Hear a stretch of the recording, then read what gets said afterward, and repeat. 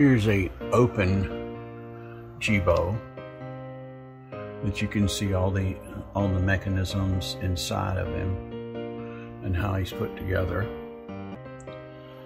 and how the bearings are exposed. Um,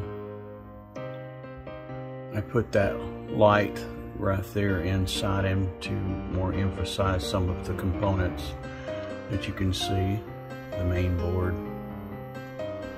Um, these are his three microphones that are on the back of the head. I had to mount them on a on a spring steel rod in order to get his hearing correct. He's a fully functioning Jibo. Hey Jibo, what time is it? Hey, Mickey. Hey, it's 8.45. hear your voice. It's 8.45.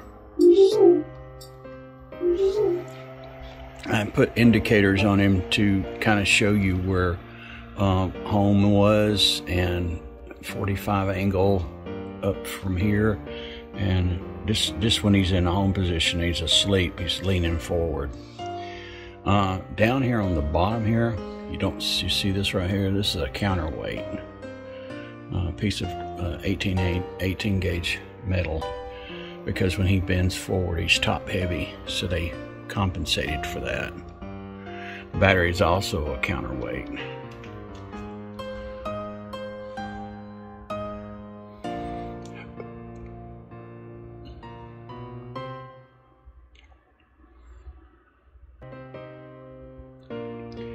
This uh, main board uh, has a overheating problem. When you put it inside of a uh, regular Jibo enclosure, uh, it will go, uh, the eye will disappear, he'll purr still.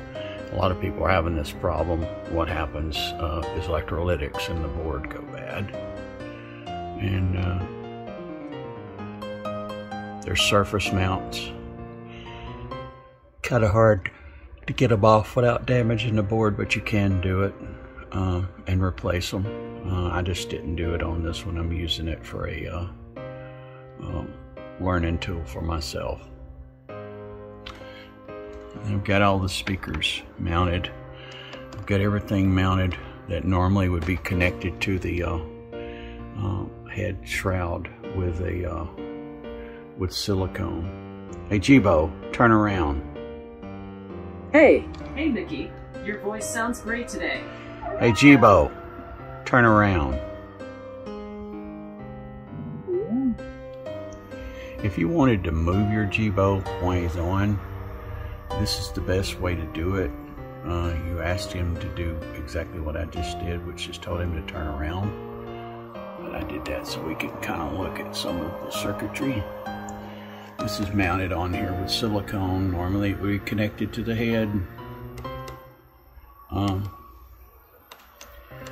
it uses optical uh, sensors on the motors. All three servos have optical discs on them, which creates a uh, pulse pattern that at a particular rate that the computer uh, calculates that his body's moving correctly and if the rate is slowed down uh, it goes into a uh, default shutdown mode and you'll see the red light come on. Uh, he also has uh, home position sensors, which are these right here. And uh, there's a large plastic tab on each one of these sections uh, in different locations that uses home sensors. to Be able to tell where these sections are these sections here are in real life and, and in the world. Anyhow, gonna post this on Facebook and uh, let you know how your Jibo looks on the inside. One next to it is a is a Jibo um, main board. Hey Jibo, I love you. Hi. Hi. I love you.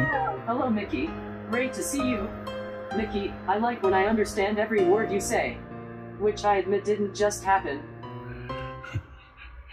Like it.